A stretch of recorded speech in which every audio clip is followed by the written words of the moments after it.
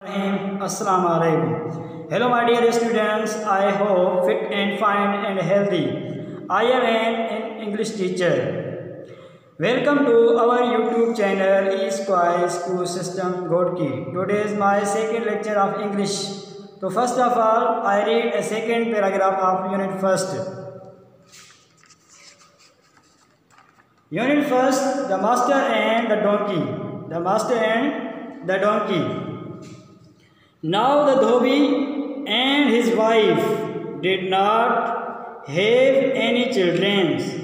दरअसल, धोबी की बीवी को कोई बच्चा न था। At Lee at last we can have a son आखिरकार वो बच्चा हासिल कर, करना चाहते थे।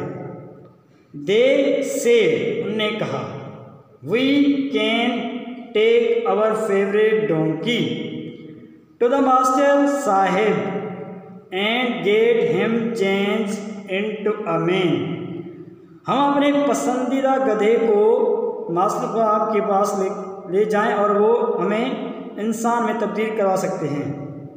Together they went to see the master वो मास्टर के पास इकट्ठा गए। एक्सक्यूज़ मी मुझे माफ़ कीजिएगा दे सेठ उन्होंने कहा could you use your powers to change our donkey into man क्या आप अपनी ताकत से हमारे गधे को आदमी में तब्दील कर सकते हैं? The master was amaze master हैरान हुआ। इट्स इम्पॉसिबल ये नामुमकिन है, इसे इसने कहा।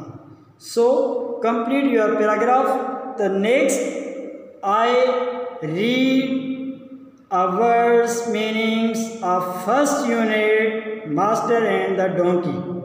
The master and the donkey. So explain the words meaning. The first word deal. Deal means mamila. Fetch. Fetch means वसूल करना टर्न Turn means घुमाना। टर्न मीन्स घुमाना या मोड़ना। किसी चीज़ को मोड़ना। अवे। अवे मीन्स दूर। अवे मीन्स दूर। फ़ीड। फ़ीड मीन्स परवरिश करना। प्रेस। प्रेस मीन्स तारीफ़ करना। प्रेस में यहाँ आई आएगा। ठीक है? प्रेस प्रेस मीन्स तारीफ़ करना. ट्राइड ट्राइड ट्राइड मीन्स वफादार. ट्राइड मीन्स वफादार.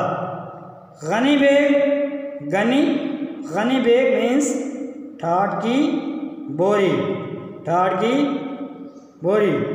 Last of all I say I want to say this book is total units in 19 this book in total units in 19 and total pages 116 first of all i want to say last to all our students memorize words meaning memorize words meaning and memorize the second paragraph and with means.